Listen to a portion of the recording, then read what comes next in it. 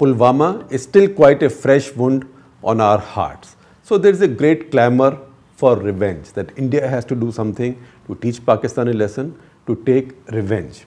In this week's, this week's national interest, I examine two parallel concepts. One is revenge, the other is deterrence. And we say, in fact, quite, I would say directly, that revenge is for idiots. Wise people think deterrence. Because revenge means for a moment your bloodlust is satisfied, khun ka badla khun, but there will be a cycle, there will be more actions and there will be more events. Deterrence means doing something so your adversary thinks not twice or thrice, but hundreds of times before provoking you again. Now deterrence takes time, it takes more patience, it is less spectacular, it doesn't give you headlines, but it gets you success. And you can see these examples in history, say if, even if you look at our own history, 1962 war, uh, the Chinese used a strategy of deterrence. They did not want any more territory from us than they had taken already. They did not want to teach, they did not want to punish us for anything or, or seek revenge for anything. They just wanted to show their power so, so that India will learn that look, they will always be a threat from China. And since then our mindsets about China have been defensive. Then China developed Pakistan into a proxy and a client state and since then has used a much weaker state like Pakistan, much smaller state at a very low cost to balance India. In India, on the other hand, 1971, Mrs. Gandhi used a similar strategy with Pakistan, but on a much larger scale. She did not go into Bangladesh or East Pakistan on the day the Pakistani army cracked down in March. She waited nine months, prepared her army, prepared the global climate, and finally the war began. When the war began, she was ready. It was over in 13 days. What did that war achieve? That war achieved deterrence of five decades, at least. Uh, that war ensured that since then Pakistan has not thought of using its conventional weapons to take Kashmir again from India.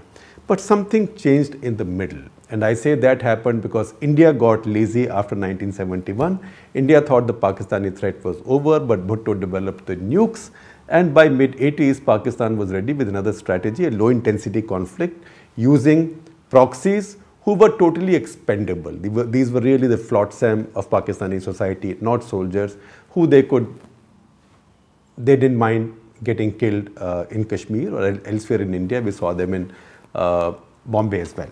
Uh, now, how did India respond to that? India has responded to that on an episodic basis, which means Pakistanis come and do something, you do something. Nothing has been done that deters them. For a while, with Op Parakram, there was a feeling that Pakistanis was not, were now realizing that this is a serious situation, but it didn't last very long. Now, the reason that's happened, I think, uh, and that's what this national interest says, is because over time, ever since both countries went nuclear, Indian strategists become what I call as nuclear lazy. They thought now they are nuclear weapons, there will never be a war. And so we stopped investing in our conventional military capability because there will be no war and as long as you're a bit better than Pakistan, you are fine. That was a strategic error that we need to rectify.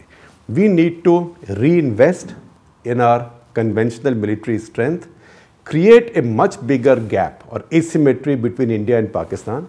So Pakistan is deterred by our conventional superiority that India has the power to come and hit you uh, on any surface or any, any platform and you will not have the ability to retaliate and get away with it.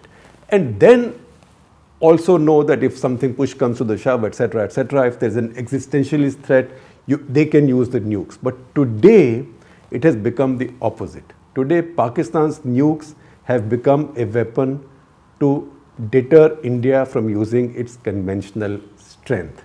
So, once again, this is not a pacifist idea, this is a very aggressive idea and diabolical idea. I want India to up its defense budgets, invite Pakistan to a conventional arms race if they are willing, uh, and build, invest in building that asymmetry. I say that Kautilya would have approved of this plan. Why? I explain in the national interest, so please do read it.